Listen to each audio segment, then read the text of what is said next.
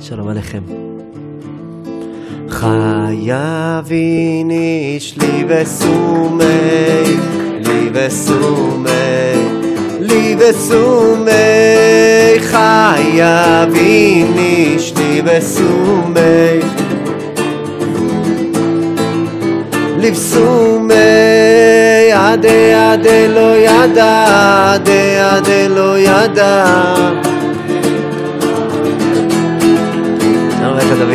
עדה עדה לא ידע, עדה עדה לא ידע, עדה לא ידע. איי איי איי איי עדה עדה לא ידע, עדה עדה לא ידע, עדה לא ידע. עדה עדה לא ידע.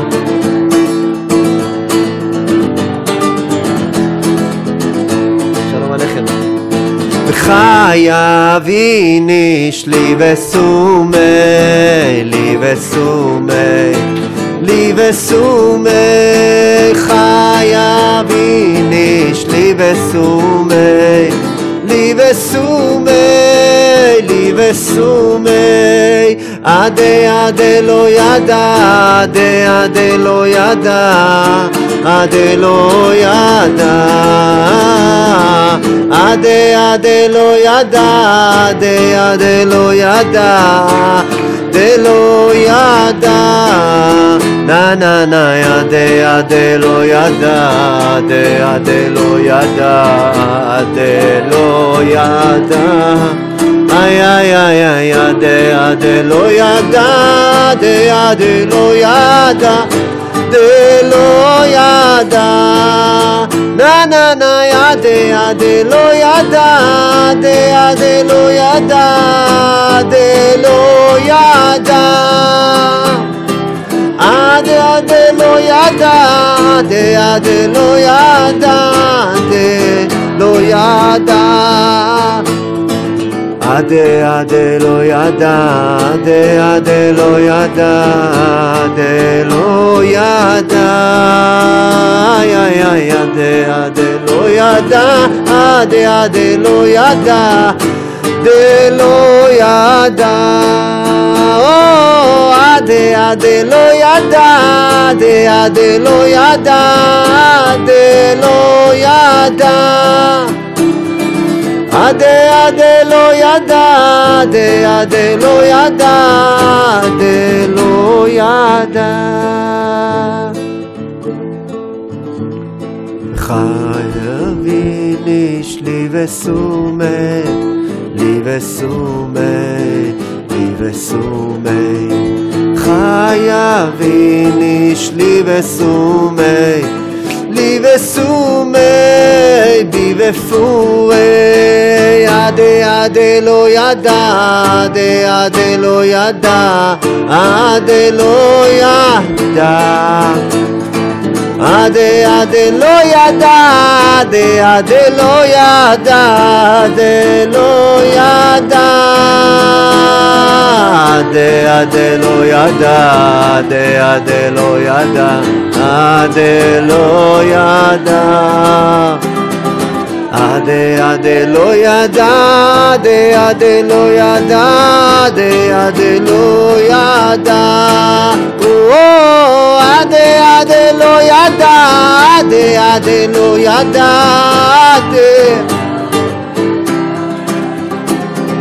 עדה עדה לא ידע, דעה דלא ידע, דלא ידע.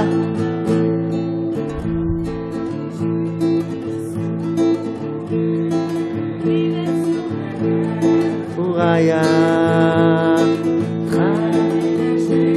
וסומי לי וסומי בפוריה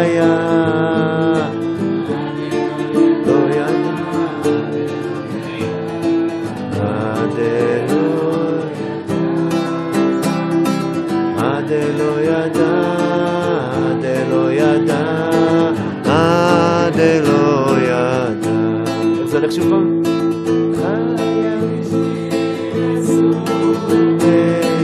לי וסומה בפוריה חווה אביניש לי וסומה לי וסומה בפוריה עד אלו ידע, עד אלו ידע, שלום עליכם, לא ידע.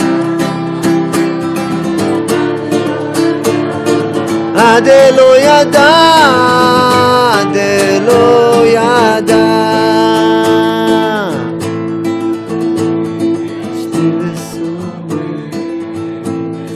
מהי לי וסומי חי אבין איש וסומי. שלום עליכם. סומי לי וסומי. עדי עדי לא ידע עדי עדי לא ידע עדי לא ידע עדי עדי לא ידע, עדי עדי לא ידע, עדי לא ידע. עדי עדי לא ידע, עדי עדי לא ידע, עדי לא ידע. איי איי איי. עדי עדי לא ידע, עדי לא ידע. ניי ניי ניי, עדי עדי לא ידע, עדי עדי לא ידע, עדי לא ידע. עדי עדי לא ידע, עדי עדי לא ידע, עדי לא ידע. עדי לא ידע, עדי עדי לא ידע, עדי לא ידע.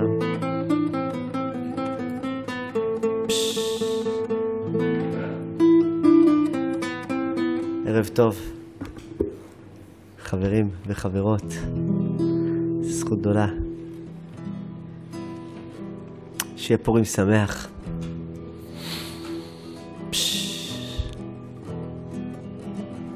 הרי אנחנו מקשרים את עצמנו בכל החברים שנמצאים מחוץ לירושלים, והתחילו כבר להיכנס לפלא הזה שנקרא פורים.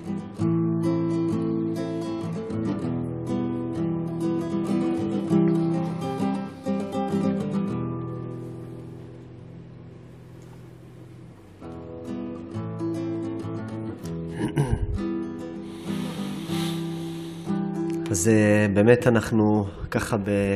ממש ב... גם בפורים וגם בערב פורים עכשיו.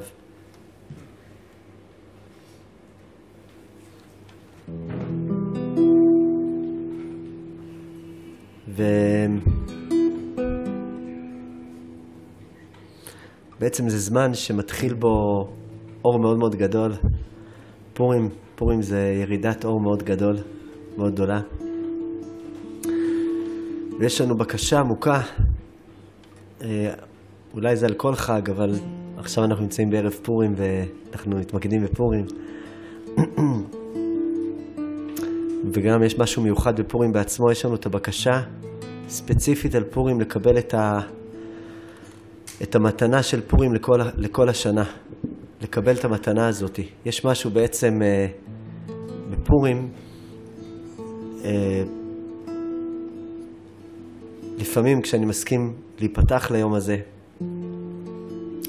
שמשהו בי פתאום אה, נמצא בחוויית אה, ממש מעין עולם הבא. ופתאום הסתכלות שונה על המציאות, על אנשים. ו...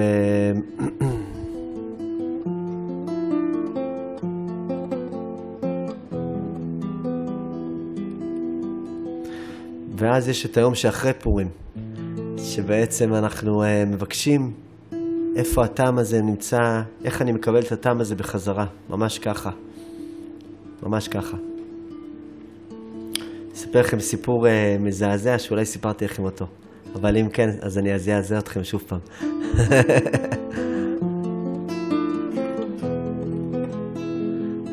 פעם אחת, uh, לפני כמה וכמה שנים, לא מעט. 15 שנים אולי, משהו כזה. הייתי זוכה להעביר את נסיעותיי בעיקר בטרמפים. הייתי מאוד אוהב לעצור טרמפים לאנשים, הכוונה לאנשים שיקחו אותי.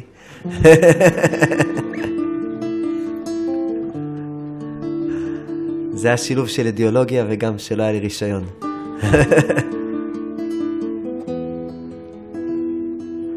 ויום אחד אה, באמת הייתי יוצר טרמפים וזה היה... הם לוקחים אותי כל מיני ברנשים מיוחדים מאוד.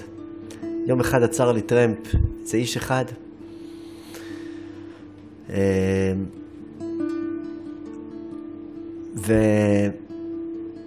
וראיתי שהוא ממש רוצה לספר לי את הסיפור של החיים שלו, והייתי באמת גם. בתקופת חיים כזאת נפלאה, שהזמן הוא גם היה בקצב של טרמפים. זאת אומרת, הייתי בקצב מאוד עם סבלנות כלפי החיים. אה, וזאת הייתה תנועה כזאת שהיה לה תפקיד חשוב בחלק של החיים שלי. שומעים דרך אגב בסדר מאחורה? אה, יופי. תענוג. אה, הסתכלתי עליו וראיתי שהוא, שיש לו איזה סיפור חיים לספר לי. אמרתי לו, תקשיב, נראה לי יש לך איזה סיפור חיים לספר לי. אז הוא אמר לי, אמרתי לו, אולי, אה, הוא בדיוק הוריד אותי בטרמפיאדה, אמרתי לו, שמע, אולי אני אעשה לך כוס קפה, אם כבר הבאת אותי עד לפה, תספר לי את הסיפור הזה, אני חייב לשמוע אותו. הוא אמר לי, באמת יש לי סיפור חיים. בן אדם, אה, בן אדם, נראה כמו בן אדם, אוזניים, אף ופה, ממש משהו סטנדרטי מאוד כלפי חוץ, ואני בחתיכת סיפור. וככה הוא סיפר לי. אה, הוא סיפר לי שלפני כמה וכמה שנים, עשר שנים לפני זה, אה, הייתה לו זוגיות אה, מאוד רצינית, ופתאום, במהלך הזוגיות, הוא פתאום גילו אצלו את מחלת הסרטן בצורה מאוד מאוד מאוד מאוד רצינית, מאוד פחדו, הוא לא ידע אם הוא יצא מזה, ובעצם איך שזה, איך שזה התגלה, אז החברה שלו עזבה אותו. הוא נשאר ככה לבד, לא היה לו קשר לקדוש ברוך הוא בשום אה, צורה מודעת שהיא. הוא התחיל להתפלל אליו אה, בלי לקרוא לו בשם הקדוש ברוך הוא או בשם זה או אחר, פשוט התפלל אליו בצורה, בלי לקרוא לו בשם. הוא ידע שהוא שמה. והוא התחיל להגיד, טוב, הלוואי שהיא תחזור אליי, החברה הזאת, הלוואי שהיא תחזור אליי, הלוואי שהיא תחזור אליי. אחרי כמה וכמה זמן, זה מה שהוא התפלל בבית חולים, זה כל מה שעניין אותו, אז הוא פתאום החליף את התפיסה שלו, פתאום הוא הבין שנעשה לו חסד מאוד גדול, שהיא עזבה אותו. אה, שמשהו שם אמיתי התגלה בקשר, שלא לא היה גלוי לפני זה. הוא פתאום היה ב, בהכרת הטוב וב, ובשמחה מתוך הדבר הזה, בהודיה גדולה. והוא סיפר לי שפתאום באותו רגע הוא קיבל איזו מתנה שהוא לא יכול להסביר אותה.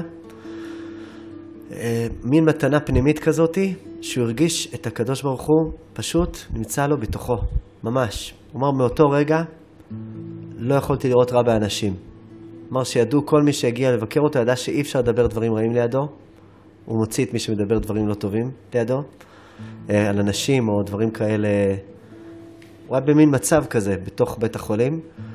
הוא אמר לי, הגעתי לאושר כל כך חזק פנימי, והרגשה, הרגשה כל כך בטוחה, שידעתי שגם אם אני אקפוץ מהגג ויראו בי אלף כדורים, לא יקרה לי שום דבר, כי אני מוגן מבפנים. הוא אומר, התחושה הזאת הייתה התחושה הכי גדולה שהכרתי של ריפוי בחיים. ואז הוא סיפר לי שהוא הבין הוא אמר לי, תשמע, באותו רגע הבנתי שאני הולך להיות בריא לגמרי. כי לא יכול לקרות לי כלום, כי יש לי את התחושה הזאת. ואמרתי לאלוהים, ריבונו של עולם, במילים שלו שמה, שהוא אמר, כשאני יוצא אני מספר לכל העולם עליך, לכל העולם. והוא אמר לי שתוך כמה ימים הוא הבריא לחלוטין, לחלוטין לגמרי, זאת אומרת לא נשאר אצלו כלום. הרופאים היו בהלם תרבותי ממש, והוא יצא משם. והוא אמר לי שכשהוא יצא מבית חולים, איך שהוא יצא מהשערים של בית החולים, הוא אמר לי שקרה לו הדבר הכי נורא שקרה לו בעולם, פתאום הסתלקה ממנו התחושה הזאת. והוא פשוט נפל על הרצפה והתחיל לבכות. הוא אמר, ריבונו של עולם, תחזיר לי את המחלה הזאת, ואל תיקח לי את התחושה הזאת. ממש ככה. הוא אמר לי, התחושה של לאבד את. החוויה לאבד את התחושה הזאת, זה החוויה הכי רעה בחיים. והחוויה לקבל את הדבר הזה, זה, זה המתנה הכי גדולה בחיים. ואחרי זה הוא סיפר לי שהוא בעצם נכנס למציאות של חיים, הוא התחתן, הוא הביא ילדים, והוא הפסיק להסתכל על השמיים. אה, עד, ה... עד שעצר לי שם טרמפ, ואז פתאום אה, הוא פתאום ירד בקצב של החיים. היינו תקופה מסוימת בקשר גם כן. ואני מאמין שבטח יש לו גלגול יפה היום. ואני אספר לכם את המעשה הזה שהוא נגע לי בלב. להגביר? תודה, תודה שאת אומרת לי. הנה, בוא נראה. או שאני אעשה משהו כזה. אולי אני אתקרב למיקרופון. ככה, נכון? תודה. איזה פלא זה. מה קרבה יכולה לעשות? אז אה, אפילו המיקרופון רוצה שיתקרבו אליו. אז אה, בעצם המתנה שהוא נתן לי כשהוא סיפר לי את הסיפור הזה, זה שיש יש מציאות שפתאום משהו בתוכי מסכים להשתנות לחלוטין. והבקשה הזאת, הפנימית, היא בעצם מבקשת ממני אחרי זה לרדוף את ה... לרדוף אחרי המקום הזה כדי, כדי לאמץ אותו, כדי שזה יהיה חלק מהחיים שלי. אני גם גיליתי ממנו שאם הוא הרגיש את הדבר הזה, אז יכול להיות שכל אחד ואחת מאיתנו יכולים לקבל את המתנה הזאת. בעיקרון, זאתי התחושה של פורים. החוויה הזאת שאתה, שאתה מוגן, שאתה, שאתה יכול להיות מוגן ליד האנשים שלידך, אתה יכול לגלות מי אתה. אתה לא צריך להסתתר יותר. ואנוכי אסתר אסתיר פניי ביום ההוא, זה שהקדוש ברוך הוא לא סומך עלינו. אומר, תקשיבו חבר'ה, אני לא יכול להיפתח לידכם. אני מפחד שתצחקו עליי. כשאני נמצא מול בן אדם ואני מפחד שהוא יצחק עליי, או שהוא יהיה עם השגות עליי, או שאני אני באיזשהו שלב מפסיק את המסע הזה של להיפתח, ואני מסתיר את פניי ביום ההוא.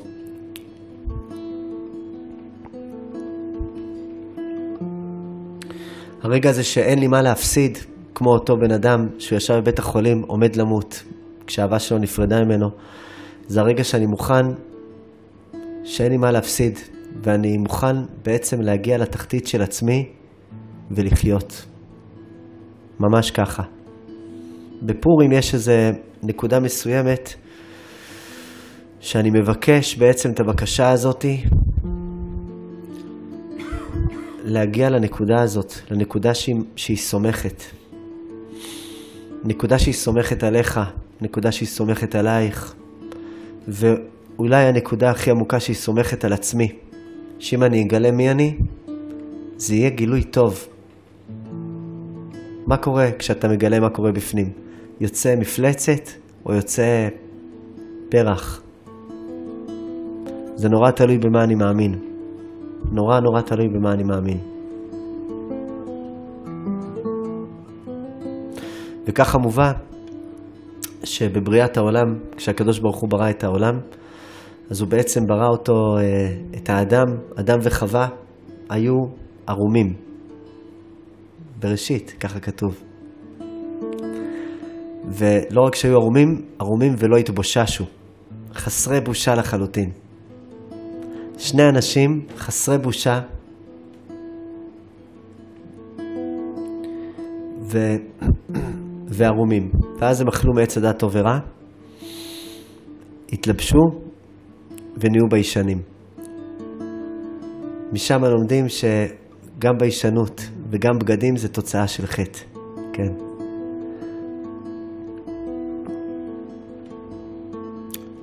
בגדים זה לא, זה לא משנה אם בן אדם הולך עם בגדים או בלי בגדים, בגדים זה עניין של ראייה. זאת אומרת, בן אדם יכול להיות בלי בגדים אבל ברגע שהעיניים שלו עם בגדים, אז זה לא יגרום לו לראות את הבפנים של הבן אדם. שוב פעם אני אראה את החיצוניות שלו. כשאדם וחווה היו ערומים, הם בעצם יכלו ליצור קשר בלתי אמצעי עם הבריאה. איזה מתנה זה שאתה יכול פשוט לראות, לראות אותה. לראות את הפירות, לראות את העצים, לראות את החיות. אדם קרא, הוא קרא בשם אה, לכל החיות כי הוא פשוט ראה אותם, הוא הצליח לראות אותם.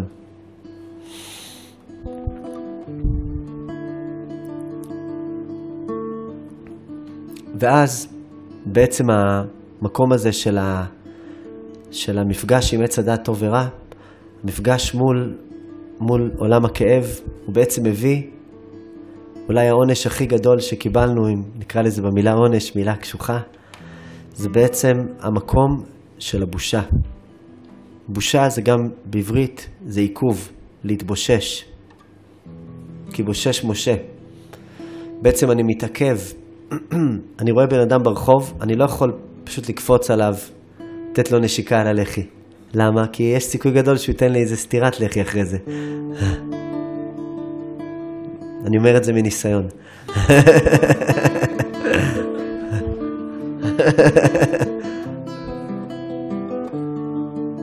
אני בעצם מבין שהמציאות היא מעוכבת. היא מעוכבת. זאת אומרת שכשאני פוגש בן אדם, אני פוגש קודם כל את העקבות שלו, את העיכוב שלו, בעצם את המקום שהוא... אה, אני פוגש את, ה, את הלבושים של הבן אדם, את הכיסוי של הבן אדם. כשאיש ואישה מחליטים לצאת למסע ביחד של אהבה, אז מחליטים בעצם להסיר את הבושה, לאט לאט. להסיר עוד ועוד עיכוב, ועוד ועוד עיכוב, ועוד ועוד עיכוב. המקום הזה של העומק, של הבושה, הוא גם כן המקום שאני בעצם מצניע את עצמי.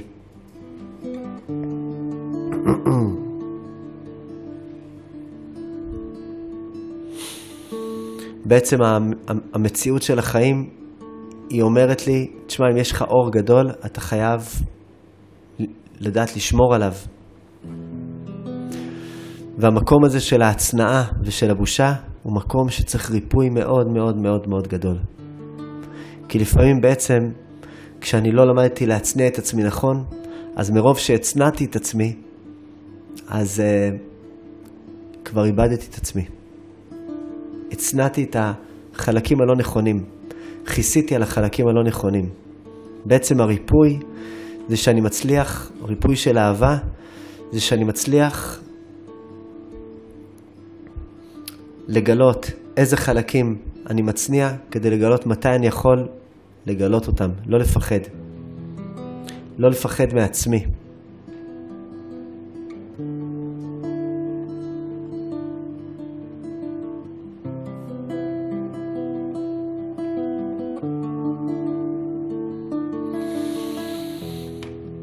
לא לפחד מעצמי. מובא שבפורים פרס, הנקודה של העם הזה, של פרס, הנקודה המעניינת שלהם, הייתה צניעות, ככה כתוב. אנשים צנועים, מאוד צנועים, כתוב שהם היו צנועים בשלושה דברים. במאכל, אוכלים צנוע, בבית הכיסא, הולכים לשירותים בצורה צנועה, ובמפגש בין זיווג, בין איש ואישה. מאכל זה בעצם הביטוי של ממה אני ניזון. בית הכיסא, שירותים, זה בעצם איך אני מברר את הפסולת שלי. ומפגש בין איש ואישה, זה איך אני מבטא את עצמי. בכל שלושת הכלים האלה, שבעצם כלי הראשון זה איך אני, ממה אני ניזון, איך אני ניזון. השני זה איך אני מברר את, ה, את המציאות שלי, והשלישי זה איך אני נפגש עם אנשים, בשלושתם היו נורא נורא נורא צנועים. ואז קרה המשתה של אחשורוש, אחשורוש עושה משתה, ואז בשיא המשתה, בשיא המציאות של המשתה,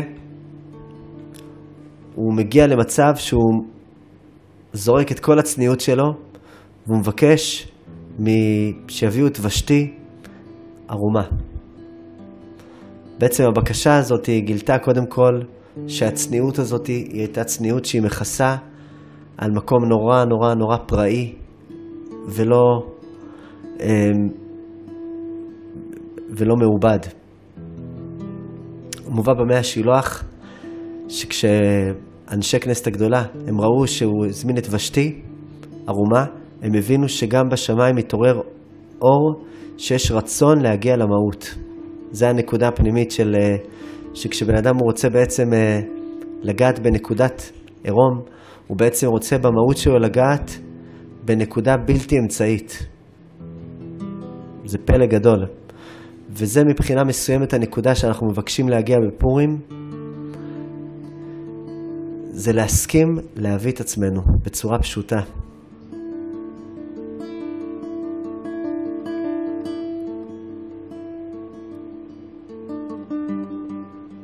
חשוב לי להדגיש שאני לא מתכוון לעירום פיזי, מתכוון לעירום נפשי, לנקודה שבעצם הבן אדם מוכן להיות פתאום פשוט מול עצמו.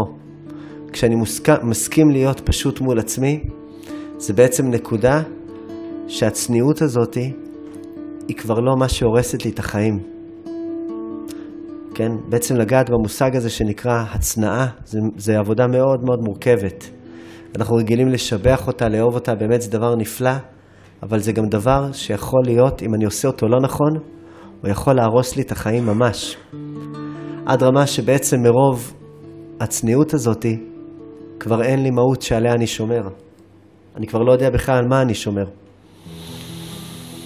יש מערכות יחסים שבעצם הצניעות כל כך, כל כך התגברה שם, כל כך שומרים על המערכת מבחוץ, עד שזה נהיה בעצם מערכת של חוקים, של משמעת, של מסגרת, ואין תוכן פנימי, אין אור פנימי, שהוא בעצם מגלה על מה אתה שומר, בן אדם.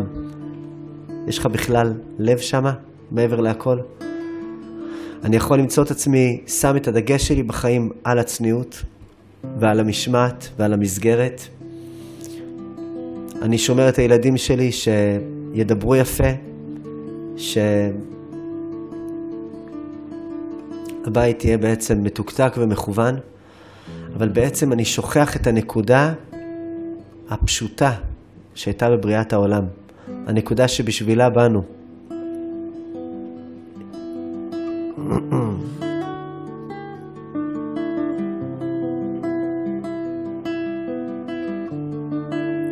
והנקודה הזאת זאת נקודה מאוד מאוד מאוד מאוד עמוקה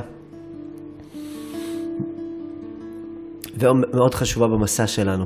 בעצם אני מגלה שיש הרבה מקומות בחיים שלי שאני לא, אני לא מעז להתגלות שם. אני יכול לגלות את זה מול חברים טובים, שאני לא מעז לגלות את עצמי שם.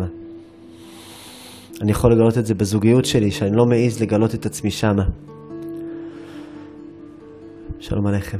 ואני יכול לגלות את זה מול עצמי, שאני עדיין מתבייש מעצמי. אני מתבושש.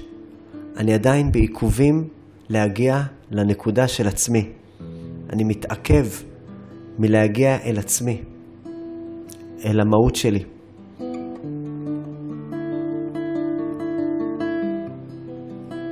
המסע של החיים שלנו זה להגיע לנקודה הזאתי. ברגע שאני מגיע לנקודה הזאתי, אז יש עוד מסע של להגיע לנקודה של הבן אדם שלידי. להצליח לעבור את העקבות האלה, לעבור את העקבות האלה. מסופר על יעקב אבינו שהוא היה בצורתו של אדם הראשון, וכשהוא אה, כשהוא אה, בא, הוא, היה, הוא עבד אצל לבן הארמי, וכשהוא עבד אצל לבן, אה, אחרי כמה שנים, הוא אומר לו, אבה לי את בתך ואבוא אליה. איזה דיבור זה אם נתרגם אותו ממקראית לשפה פשוטה. בן אדם ניגש לאבא של אשתו, אומר לו, שמע, אני רוצה להתחתן כדי לקיים יחסים עם הבת שלך. חז"ל אומרים, איזה מין דיבור זה? מה קורה? כאילו, בן אדם, אה, מה נסגר עם בן אדם? איך הוא אומר ככה לחמיב? אבל הם, התשובה שלהם אומרת שהוא כל כך אמר את זה בצורה כזאת נקייה, שזה אפילו לא יצר התנגדות אצל לבן. כי הוא אמר את זה בצורה פשוטה.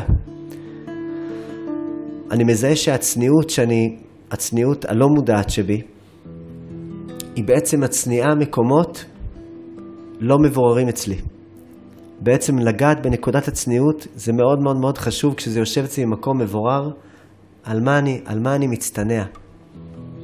כי בעצם אותה צניעות שאני מצטנע, היא גם החסימה שלי שלא מאפשרת לי להתבטא בצורה פשוטה. ממה אני מתבייש? אני מתבייש מלהיות אדם חי.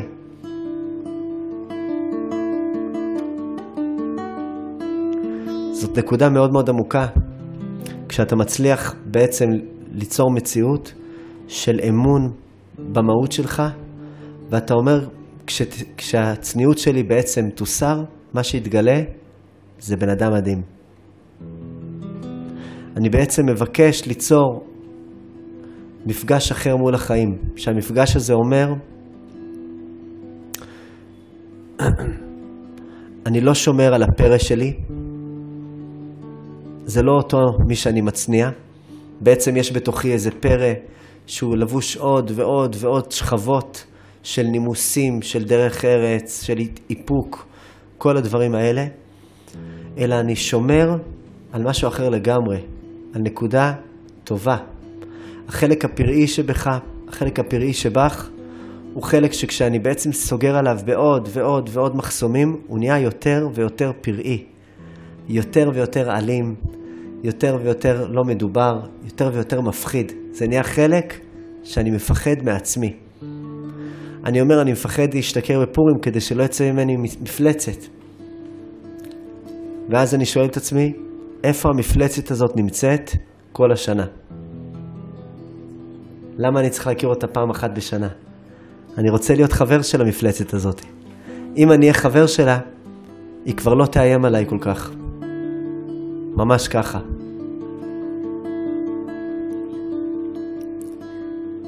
כשאני מגלה את זה, אני בעצם מבין ש... שהנקודה עליה אני צריך לשמור זה לא לחסום עוד ועוד ועוד ועוד ועוד את החיה שיש בתוכי, אלא דווקא לדעת לשמור על הנקודה הפנימית שבי. נקודת החיה שבתוכי, ודאי אני צריך ללמוד לעבור איתה גם תהליכים.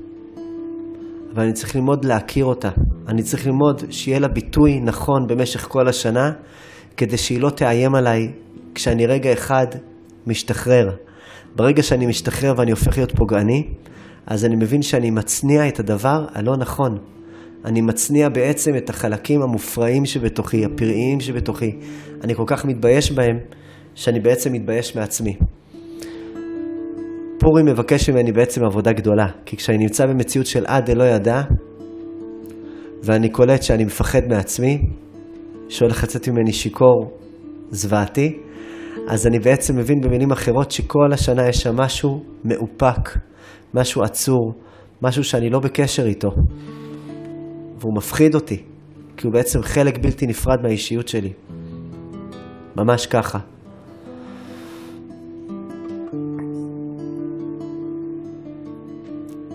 והצנע לכת עם אלוקיך. הנקודה של הצניעות העמוקה היא בעצם הנקודה האלוקית שבתוכי. הנקודה הזאת זה נקודה שאני צריך ללמוד אותה, נקודה אישית, ולראות איך אני מעז לגלות אותה מול, מול איזה בן אדם. יש אנשים שמולם אני יכול יותר לגלות את הנקודה האלוקית שבי, ויש אנשים שפחות אני יכול לגלות מולם את הנקודה האלוקית שבתוכי.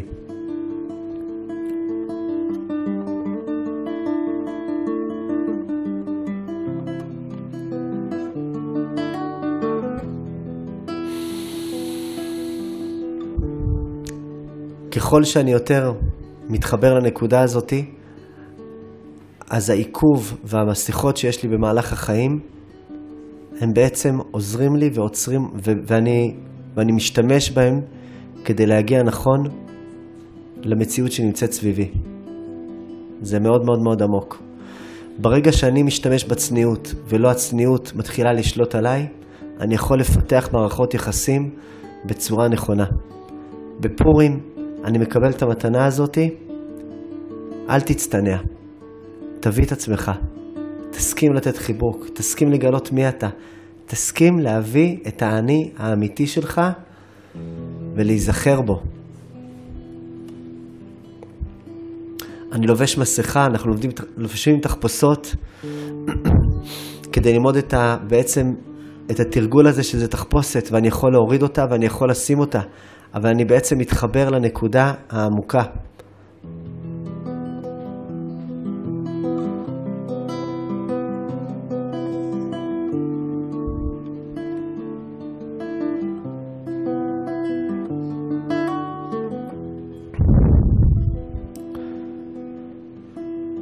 ככל שמערכות יחסים להיות יותר ויותר אמיתיות בחיים שלי,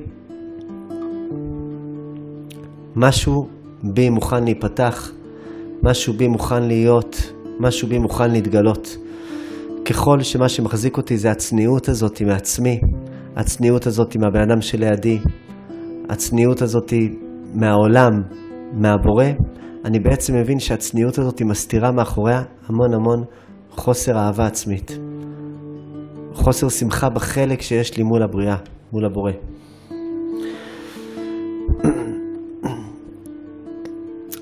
בפורים בעצם הבקשה היא להתחבר לחלק הזה ממקום חדש.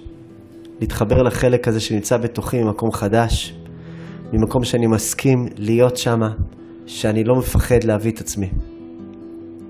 כתוב בפרשה, פרשת השבוע יש בה את חטא העגל. בני ישראל מחכים שמשה רבנו ירד מהר סיני, ואז כתוב וירא העם כי בושש משה.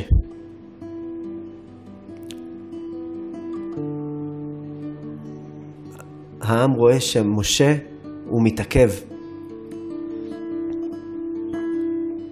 מובא שהעם זה החלק העמום, הלא ברור. מקום בעצם שהוא מבקש להתגלות והוא עדיין עמום. ומשה זה הנקודה הפנימית, ומשה עדיין בושש לבוא. הוא עדיין מתבייש לבוא. איזה אכזבה זה שאתה אומר עם כל העבודה הזאת, כל השנים האלה, משה עדיין מתבייש לבוא. ואז הצעד הבא זה, זה עבודה זרה. אני מתחיל לעבוד לא נכון. מתחיל לעבוד את הפיצוי שלי, מתחיל לעבוד בעצם את, ה, את כאב האהבה. כשאני מגלה שמשה עדיין מתבייש לבוא, הנקודה הפנימית שבתוכי שנקראת משה עדיין מתביישת לבוא, אני יכול להתייאש ממנה. אבל בעצם הבקשה העמוקה, הבקשה העמוקה של פורים, הבקשה העמוקה של קבלת התורה, היא לקבל את משה רבנו, לתת לו מקום להיכנס.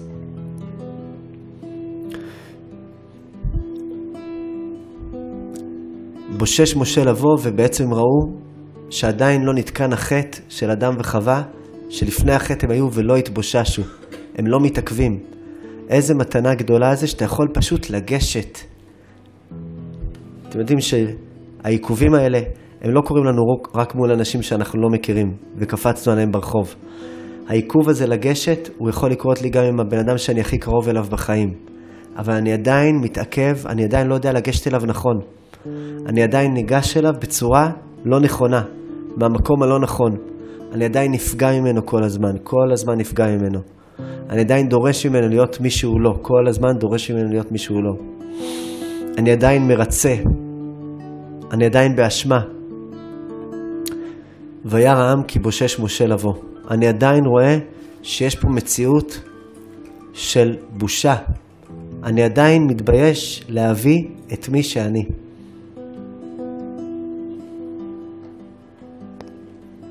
דיברנו על זה ביום שני, שבנבואת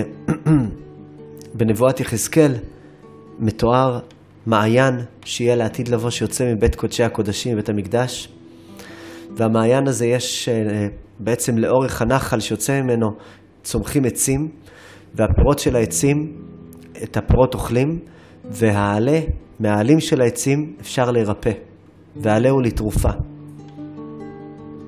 לוקחים את העלים, לועשים אותם, ושתהיה בריא, מה שנקרא. עלה הוא לתרופה, כן. משהו שמזכיר גת. ככה אני דמיינתי את זה. ועלהו לתרופה. חז"ל אמרו, לתרופה, נוטריקון, להתיר פה. כי התרופה האמיתית היא שהפה שלי הוא פתאום מותר. פתאום, פתאום מותר לו להגיד מי אתה. התרופה הכי עמוקה שאתה יכול בעצם לגלות, זה לגלות את עצמך. זאתי התרופה הכי גדולה שיש. הם מביאים שיש שתי, שני פיות, יש פה שנקרא, שלום עליך אחינו, פה אילמים, ויש פה שנקרא פה עקרות. פה אילמים זה בעצם מרמז על יכולת הדיבור שלי, ופה עקרות זה בעצם יכולת היצירה שלי. אלה שני צורות שאני מדבר במציאות של העולם, אני מביא את עצמי. ברגע שאתה מסכים להביא את עצמך, ברגע שאת מסכימה להביא את עצמך, זאתי הרפואה הכי גדולה שאתה יכול למצוא. עליהו לתרופה. הרפואה הזאת שאנחנו מבקשים, זאת הרפואה שאנחנו מבקשים לקבל אותה בפורים.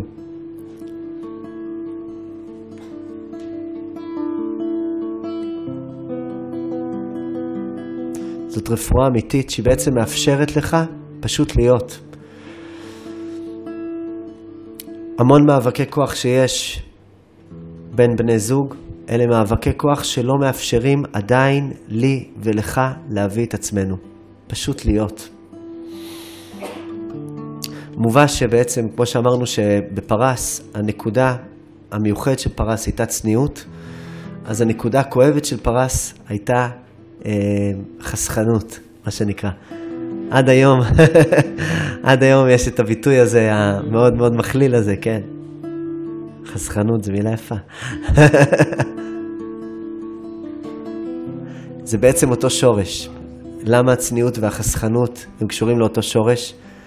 כי אני מצניע את מי שאני, ואני גם לא מצליח לגלות אותו החוצה. לא מצליח לנדב את זה החוצה, את מי שאני.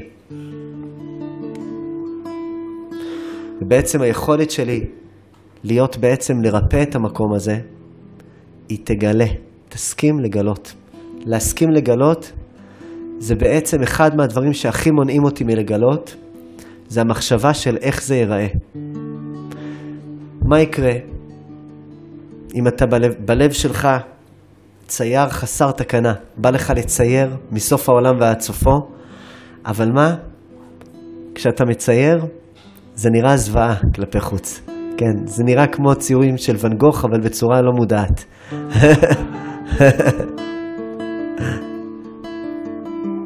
שעוד לא עלו עליו. מה קורה אם בעצם המקום שלך זה שאתה רוצה לכתוב שירים, אתה רוצה לכתוב שיר, אתה ממש רוצה לכתוב שירים, אבל כשאתה יוצא לך איזה שיר הוא נראה לך טיפשי. כל כך טיפשי שאתה לא יכול אפילו להקריא אותו לבן אדם שלידך. זה נראה טיפשי, אתה אומר מה, אני אקריא את זה, זה, זה טיפשי. אני אופיע עם זה, זה בכלל טיפשי. מה קורה אם יש לך איזה דיבור אמיתי להגיד, אבל אתה אומר, בטח כבר אמרו את זה הרבה מאוד אנשים. בפורים, כשאתה קצת אחרי כמה משנה תודעה, מש, משקאות משנות תודעה,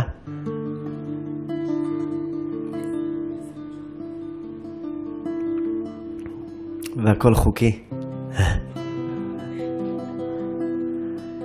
אז אתה בעצם רגע אחד לא בתשומת לב של איך אני נראה, ואתה מסכים להיות בהתגלות. זה ריפוי של ואנוכי אסתר אסתיר פניי ביום ההוא. זה ריפוי הקמצנות במובן העמוק שלה. כי בעצם ריפוי הקמצנות במובן העמוק זה תביא את עצמך, בן אדם. תביא את עצמך. לקמץ זה מלשון הניקוד קמץ. הניקוד קמץ פתח זה לקמוץ ולפתוח. היכולת שלי בעצם לקמוץ ולפתוח היא בעצם היכולת שלי שאומרת, טוב, קמצתי, קמצתי את עצמי בתוכי כבר המון המון המון זמן. המון המון המון זמן. כתוב שפר... שאילם, שזאת בעצם... אה, אה, אילם זכתה ללמוד ולא זכתה ללמד. המקום שבתוכי שהוא לומד והוא לא מלמד, הוא לא מעביר הלאה, הוא קומץ והוא לא פותח.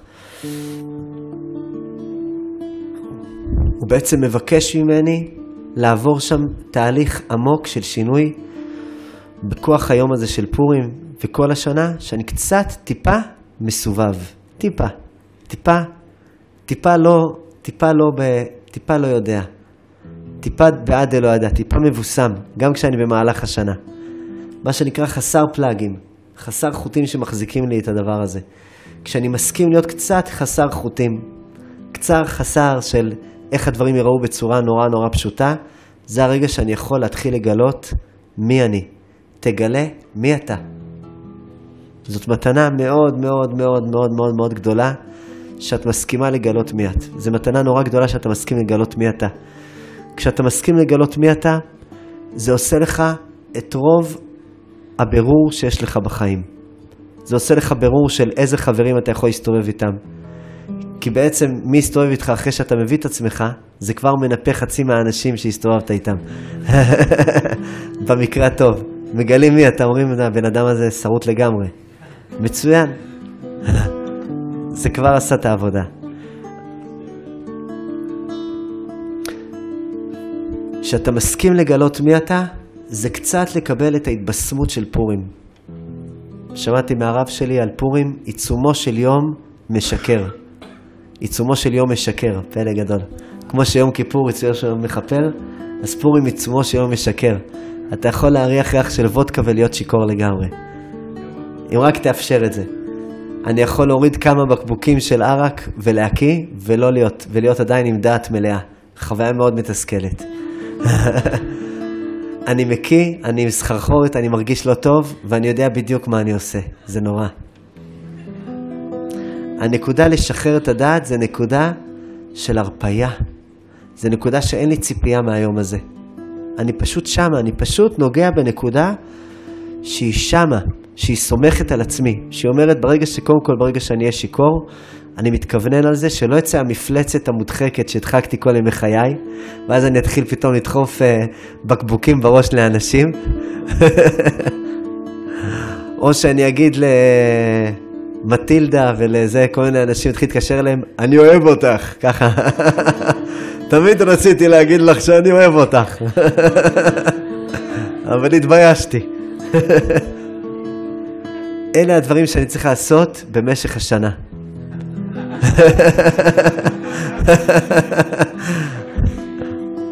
אני צריך לפתור את זה עם עצמי במשך השנה, לגלות את כל הרגשות המודחקים שלי כלפי כל מיני טיפוסים כאלה ואחרים. ממש ככה. בפורים אני רוצה לגלות מי אני בלי הדרמות. אני רוצה לגלות מי אני באמיתי, פשוט להיות שמה. בלי מקומות שהסתרתי. אם אני קולט שאני הסתרתי מקומות, אז אני אומר, אני עכשיו אומר אותם. ואני לא הולך להשתמש במשקה הזה כדי, כדי uh, להיות במקומות שהם בעצם מקומות uh, בהפרה מאוד מאוד גדולה. אלה מקומות שאני רוצה להתמודד איתם במהלך השנה. והיום, בפורים הזה, אני רוצה לגלות אהבה. אני רוצה לסמוך על עצמי, שכשאני נהיה לא צנוע, לא מצטנע בעצם, במובן העמוק של המילה, אז מתגלה לי הנקודה העמוקה שלי, הנקודה האוהבת שלי, הנקודה השמחה שלי, הנקודה העוצמתית שלי. הנקודה הזאת שלא מפחדת איך הדברים נראים. זה פלא גדול.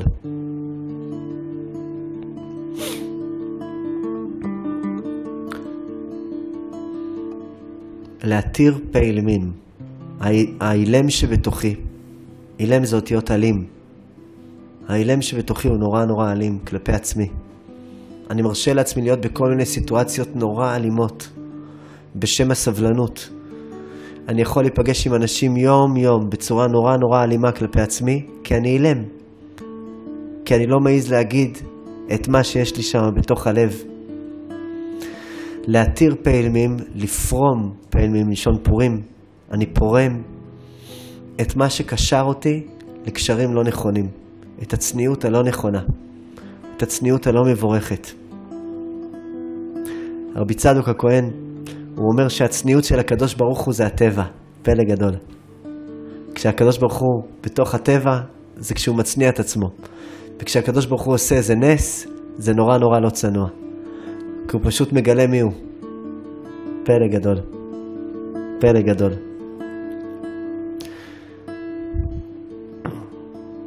כשאני בתוך הטבע של עצמי, אני מגלה את איך שכולם מכירים אותי, אז אני נורא נורא צנוע. אני מצניע את עצמי. אבל כשאני מגלה פתאום מי אני מחוץ לטבע שאנשים מכירים, זה נקרא נס. פלא גדול. זה פלא גדול. מה שתיקנו חז"ל לתת מתנות לאביונים ומשלוח מנות איש לרעהו זה ביטוי האישיות שלי כלפי אנשים. האביונים האלה זה אנשים שמכירים אותי יום-יום ועדיין לא טעמו פעם אחת את האישיות שלי. תן להם מתנה, נשמה. תן מתנות לאביונים, לאנשים שהם אביונים ממך, שהם בעצם עדיין לא טעמו מי אתה. איזה חוויה מתסכלת זה שיכול להיות הרבה מאוד אנשים סביבך, סביבך, שמכירים אותך, אותך, והם אביונים ממך, הם עניים, עדיין לא מלאים בכלום מהמתנה של האישיות המדהימה שלך, שלך. אחרי שאני נותן משלוח מנות, מתנות לאביונים, אני גם כן נותן, מקבל משלוח מנות. משלוח מנות זה תוצאה של מתנות לאביונים. אחרי שבעצם אתה נתת לבן אדם את האישיות שלך, אז פתאום יש לך כלי ויכולת לקבל את האישיות שלו. זה נקרא משלוח, משלוח מנות איש לרעהו. היכולת שלי להיות פתאום בדיאלוג ברמה אחרת לגמרי. אני לא יכול לדעת מה טיב הדיאלוג שלי עם הבן אדם שלידי, כשעוד לא הסכמתי לתת לו מש... מתנה לאביונים, כשעוד לא הסכמתי לגלות מי אני. אנחנו עדיין מאופקים, אנחנו עדיין שם בקשר שהוא על בסיס לא נכון.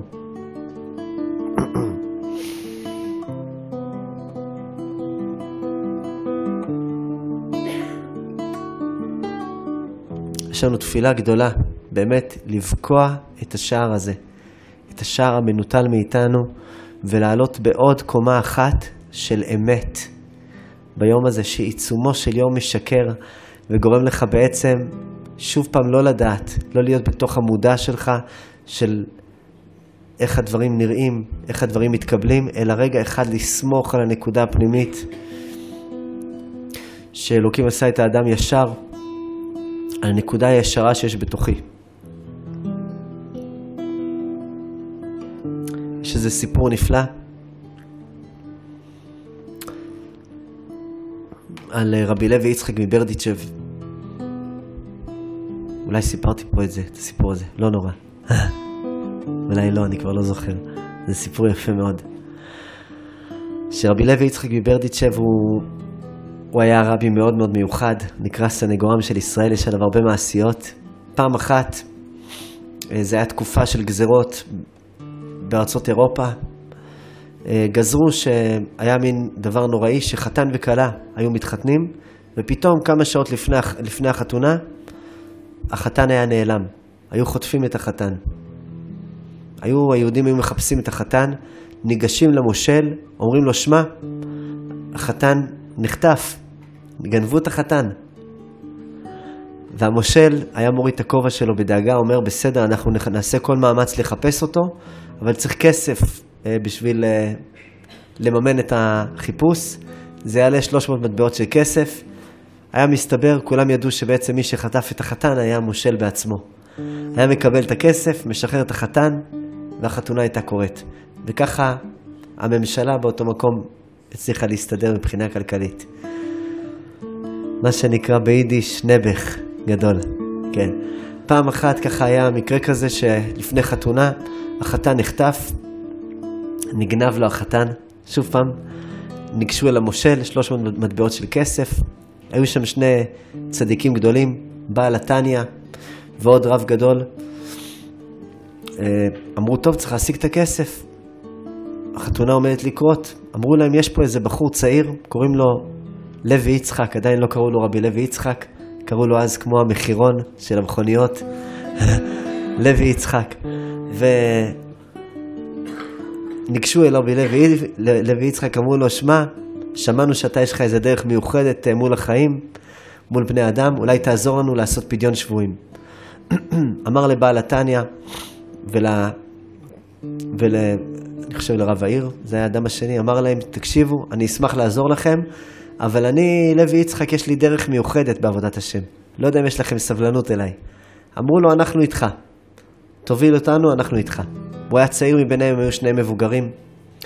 הלכו, אה, הלכו לעשות פדיון שבויים, ועברו מבית לבית, בקושי אוספים מטבע פה, מטבע שם, פתאום רואים איזה ארמון מופלא מאוד, משהו, מפלצת אה, רצינית ביותר. אומר רבי לוי יצחק, מי גר פה? אומרים לו, עזוב, זה לא משנה. אמר להם, מה עזוב, מי גר פה? זה בית ענקי, זה נראה לי בן אדם מבוסס. אמרו לו, זה, הוא מבוסס כלכלית והוא גם, הוא האיש הכי עשיר פה בעיר, והוא גם כן יהודי. אבל אין מצב שהוא יעזור לנו, הוא בן אדם מאוד מאוד מאוד מאוד קמצן. מאוד מאוד קמצן. אמר לי רבי לוי יצחק, אני רוצה להגיע אליו. טוב, ניגשו אליו הביתה, דופקים בדלת, הוא רואה אותם, מסתכל כזה בעינית, רואה שלושה רבנים, אומר, טוב, מה אני אעשה, מה אני אעשה? פותח את הדלת, אומר להם, כמה טוב שבאתם, אבל אני בדיוק צריך ללכת. אמר לו רבי לוי יצחק, בסדר, רק, רק רוצים לדבר איתך כמה דקות. אמר, טוב, דברו. אומר, לא נעים לי, יש פה שני רבנים מבוגרים, אם אפשר להביא כיסאות. אמר, טוב, בסדר. מביא כיסאות, אומר לו, שמע, הרבנים המבוגרים לא רוצה שיצטננו, אולי נשב בפנים. אומר לו, טוב, בסדר. שב איתם בפנים. רבי לוי יצחק אומר לו, שמע, חתונה, עוד כמה שעות הם מתחתנים, גנבו את החתן, עצוב נורא. ממש רואים אותו, הוא משתתף בצערה, אומר לו, שמע, זה סיפור נוראי, נוראי. אומר לו, שמע, אבל מצד שני, אני אגיד לך, אולי כנראה לא שמעת עליי, אני פשוט בן אדם נורא נורא קמצן. הייתי כל כך שמח לעזור לכם, אבל אין לי יכולת, אני פשוט באמת נורא קמצן. אומר לו רבי לוי יצחק, שמע, זה ממש מודעות, מה שאתה... זה מדהים לשמוע ככה בן אדם עם מודעות כזאת גדולה. אבל אם תוכל לתת משהו, מה שתרצה לתת זה בסדר. אומר להם, טוב, אתם יודעים, ניתן משהו, להשתתף בכל זאת בהוצאות. נכנס לחדר הפנימי, רואים אותו שם מזיז דברים, הולך, חוזר, הופך שם את הבית, אומרים, מה, הולך, מה הוא הולך להוציא משם, הבן אדם כאילו מתחיל להזיז ארונות, שולחנות, כיסאות, מאיפה הוא מוציא את כל האוצרות שלו, מכל, מתוך הבוידם, כל שומעים כזה טריקות, עניינים. רואים אותו נכנס, מתנשף, ככה מזיע, השיער שלו התפזר, אומר להם עוד כמה דקות, בסדר? אומר להם, אין בעיה, אנחנו בסדר גמור. חוזר שוב פעם, טורק דברים, מזיז את הארונות, מזיז את הדברים. מתנשף אחרי איזה חצי שעה ככה, יוצא עם איזה תיק אור. אומר, טוב, הבאתי משהו בכל זאת שיהיה לכם. אתה מוכן? אומר רבי לוי יצחק, כן, תפתח את היד. פותח את היד. שני הרבנים כזה מסתכלים מהצד, הוא מכניס את, התיק, את היד שלו לתוך התיק אור, שם ביד של רבי לוי יצחק. רבי לוי יצחק פותח את היד, הוא רואה חצי פרוטה. אומר לו, וואו. שני הרבנים מסתכלים ואומרים, וואו, וואו. אומר לו, שמע, אדוני, אני רוצה להגיד לך משהו. אתה, אתה, אתה משהו מדהים. בחיים לא ראיתי בן אדם נדיב כמוך. אתה סתם אומר שאתה קמצן, אתה בכלל לא קמצן, אתה בן אדם מדהים, אתה נדיב לב. אתה ב, למעשה האדם הרחב לב הכי גדול שפגשתי בחיים שלי. אומר לו, באמת? והשני הרבנים מהצד אומרים, באמת? אומר להם, באמת, באמת. הוא אומר, אני באמת לא ראיתי כזה דבר, וריגשת אותי, וחיבק אותו, ונשק אותו, אומר, יופי, בהצלחה, שיהיה בשורות טובות. נפרד ממנו, והם הולכים לשלום שלושתם, שני הרבנים אומרים, זה היה פשוט בזבוז זמן. מתרחקים, הוא אומר להם, מתי שתרצו, תבואו, אני אשמח לעזור לכם. בטח תשמח לעזור לנו. מתרחקים 100 מטר, אומר להם, אתם יודעים מה, אולי תבואו רק, בואו, יש לי עוד משהו קטן לתת לכם. שני הרבנים אומרים לרבי לוי יצחק, שמע, אין לנו את כל היום, זה כבר, זה פשוט סיוט הדבר הזה.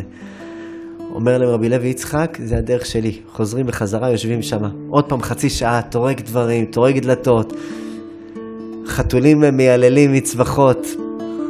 נמרים שואגים בחוץ, חוזר אליהם, עוד פעם פרוטה. רבי לוי יצחק אומר לו, עכשיו הגזמת לגמרי, באמת, זה...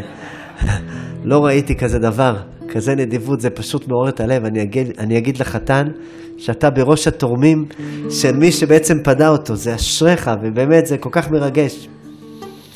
אומר לו, וואו, תודה רבה, מלווה אותה, אומר, מתי שאתם צריכים עוד משהו, פשוט תבואו, אתם יודעים. בשמחה. שני הרבנים כבר פשוט מותשים, אחרי שעה וחצי שם אצל הבן אדם, פעם שלישית הוא אומר להם כשמתרחקים, אולי תבואו לעוד איזה דבר קטן. הם כבר עוד שנייה מתחילים, כבר העיניים שלי נהיות עם, אה, עם עצבים דרך העיניים. והם חוזרים לשם, חוזרים לשם, ושוב פעם פרוטה, ושוב פעם הולכים, ושוב פעם הוא מלווה אותם, ושוב פעם הוא קורא להם. ככה ישבו אצלו במשך שמונה שעות. שמונה שעות היו אצל האיש העשיר הזה. אחרי שלוש, שמונה שעות הוא הביא להם את כל הכסף שהיה צריך. 300 מטבעות של כסף. לאט לאט הסכום הלך וגדל וגדל, ואחרי השטר האחרון שהוא נתן להם, הוא ליווה אותם בוכה, ואמר להם, מתי שאתם צריכים משהו, פשוט תבואו. רבי לוי יצחק אמר לו, אני אגיד לחתן שאתה בראש אלה שתרמו לו. ככה הם יצאו משם.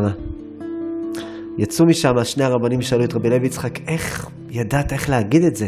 אמר להם, תקשיבו, זה לא טקטיקה. אומר, אני אגיד לכם מה ההבדל בינינו. כשאתם הסתכלתם עליו, אתם ראיתם בן אדם שיש לו המון כסף, ושהוא לא נותן את הכסף הזה, ועשיתם משוואה נורא פשוטה, הוא קמצן. אתם צודקים. אני פשוט מסתכל קצת שונה. אני ראיתי לב, לב נורא נורא נורא נורא גדול. וראיתי שעל הלב הזה יש חומה של ברזל. וראיתי חור קטן בתוך החומה של הברזל, שדרכו יכול לעבור אולי פרוטה קטנה.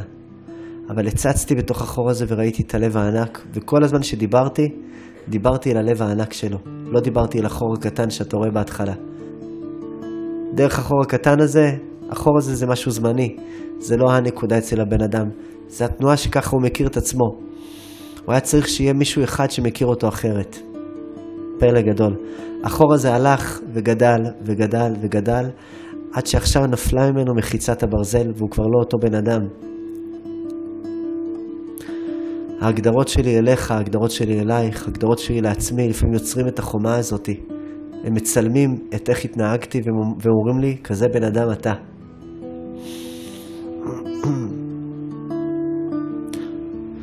אני מזהה שהקמצנות העמוקה שלי היא כלפי עצמי, והנדבנות העמוקה הזאת היא הרגע שאני מסכים להתחבר למה שנמצא מאחורי הקיר הזה. הנדיבות הגדולה זה שאני מסכים להביא את עצמי לאנשים שנמצאים מסביבי. זו התרופה הכי גדולה למאבקי כוח, למלחמות קטנות, לדרמות מכאיבות, לכל המקומות בעצם שמכאיבים לי ביום-יום, הנקודות הקטנות האלה שמעכבים אותי, שמעכבים אותי, שמבוששים לבוא. יש לנו את התפילה הזאת בפורים, לקבל את ההערה הזאת, שלפני עץ הדעת טוב ורע, עד דלא ידע, כי זה הרבה לפני. הערה כזאת שמאפשרת לי פשוט להיות. פשוט להיות שמה, להיות נוכח, להביא את האישיות שלי בצורה שמחה, בצורה פשוטה, בלי ביקורת כלפי עצמי, אם אני מצליח להביא אותה או לא מצליח להביא אותה, או לאכול איזה סרט, אלא פשוט להיות, ולהיות כמו שאני ולהיות שמח בזה.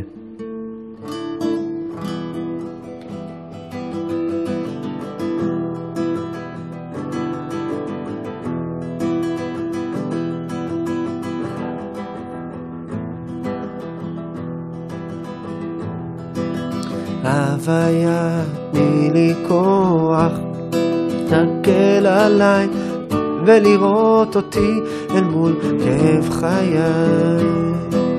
אהבה, תני לפרוח באדמה שיבשה מתחת לרגליי. זמן לחמול על ילדי שלי שבנשמה רוח חדשה תניף אותי אליו קרן אור תחמם ליבי ומהשממה היה נובע חסד ומזל היה נובע חסד ומזל.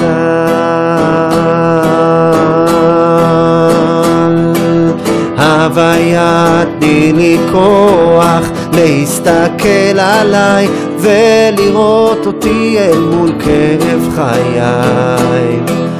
אהבה תני לפרוח מהאדמה שיבשה מתחת לרגליי. זמן נחמול על ילדי שלי שבנשמה רוח חדשה תניף אותי אליו קרנו תחמם ליבי ומהשממה היה נובע חסד ומזל? מה היה נובע חסד ומזל אז הוויה תני לי כוח להסתכל עליי ולראות אותי אל מול אמת חיי. אהבתי לפרוח מהאדמה שיבשה מתחת לרגליי.